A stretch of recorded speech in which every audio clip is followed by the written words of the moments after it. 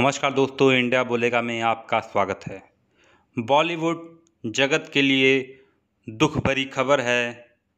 Hindi cinema की मशहूर अदाकारा फ़र्रुख जफ़र का नवासी वर्ष की उम्र में शुक्रवार की रात लखनऊ के सहारा अस्पताल में निधन हो गया। दस दिन पूर्व उन्हें ब्रेन स्ट्रोक हो गया था। उत्तर प्रदेश के जौनपुर जिला के कलापुर निवासी यह मशहूर अदाकारा चकेसर गाँव की तीन बार निर्विरोध ग्राम प्रधान भी रही। निधन से जनपदवासी समेत पूरा बॉलीवुड शोकाकुल है। उन्होंने उमराव जान से फिल्मी कैरियर की शुरुआत की। फर्रुख ने आखिरी बार गुलाबो सिताबों में अमिताभ बच्चन की बेगम का किरदार निभाया था। पीपली लाइव ने उन्हें खासी शोहरत दिलाई थी। बेगम फर्रुख जाफ़र भादी के एक बड़े जमींदार परिवार में पैदा हुई। उनकी शादी कलापुर के अंतर्राष्ट्रीय ख्याति प्राप्त परिवार में हुई। शौहर अली जाफ़र स्वतंत्रता सेनानी और कांग्रेस के बड़े लीडर थे। वह कई वर्षों तक विधान परिषद के सदस्य भी रहे। बेगम फर्रुख के पति अली जाफ़र का ताल्लुक़ उर्दू सज्जाद जहीर के ख़ानदान से था। जीवन का काफ़ी वक्त उन्होंने चकेसर गाँव में गुजारा, जहाँ उनकी पैतृक संपत्तियाँ थीं।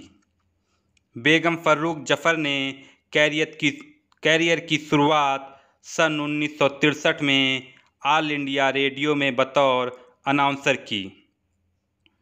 वह भारत की पहली महिला अनाउंसर थी। बाद में उन्होंने हिंदी सिनेमा की तरफ़ भी रुख किया।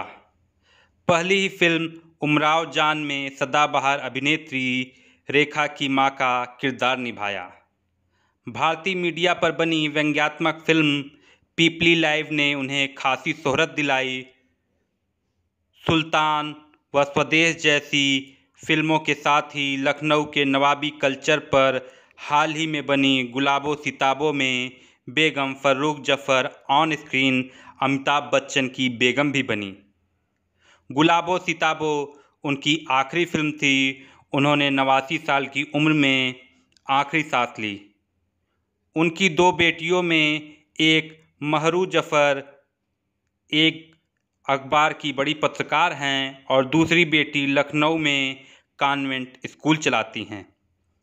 वे चकेसर गाँव की तरक्की और बालिकाओं की शिक्षा के लिए काफ़ी फ़िक्रमंद रही। भादी में उन्होंने 25 मुहर्रम का जुलूस कायम किया, जिसमें हर साल हज़ारों लोग शिरकत करते हैं। करीब डेढ़ दशक तक वह खुद जुलूस में शामिल होने भादी आया करती थी। अगर आपको हमारा वीडियो पसंद आया है तो प्लीज़ लाइक कीजिए, सब्सक्राइब कीजिए और बेल आइकन की घंटी ज़रूर दबाइए।